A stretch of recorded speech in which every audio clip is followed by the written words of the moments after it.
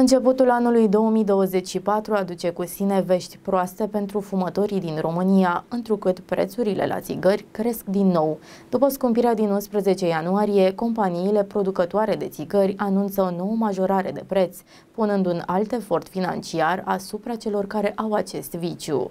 Scumpirile anterioare din iulie și aprilie ale anului trecut au acumulat deja o creștere de 2,5 lei la prețul unui pachet de țigări, generând o preocupare semnificativă în rândul fumătorilor din România. Această nouă scumpire este consecința majorării accizelor la începutul acestui an, punând o presiune financiară suplimentară asupra consumatorilor de tutun. Cu fiecare creștere a prețului la țigări, fumătorii resimt o povară financiară suplimentară. Creșterea de un leu pe pachet anunțată de Philip Morris nu face decât decât să adâncească această problemă. Mulți fumători se vor confrunta cu decizia dificilă de a face față noilor costuri sau de a reconsidera opțiuni mai sănătoase și mai economice. În fața creșterii continue a prețurilor la țigări, unii fumători pot fi tentați să încerce alternative, iar printre acestea se numără narghileaua. Cu toate acestea, este important de menționat că narghileaua nu este o opțiune mai sănătoasă. Contrar credinței populare, experții avertizează că narghileaua conține peste 70 de substanțe chimice toxice, iar o sesiune de fumat din acest dispozitiv poate echivala cu fumatul la 100 de țigări. Profesorul dr. Traian Mihăescu avertizează că fumatul cu narghileaua nu este o alternativă sigură la țigări. O sesiune de narghilea poate aduce în plămâni aceeași cantitate de fum ca fumatul la 100 de țigări, iar substanțele toxice identificate în acest fum poate provoca modificări majore în organism. Astfel, este esențial să se conștientizeze că narghileaua nu reprezintă o opțiune mai inofensivă, relatează click.ro.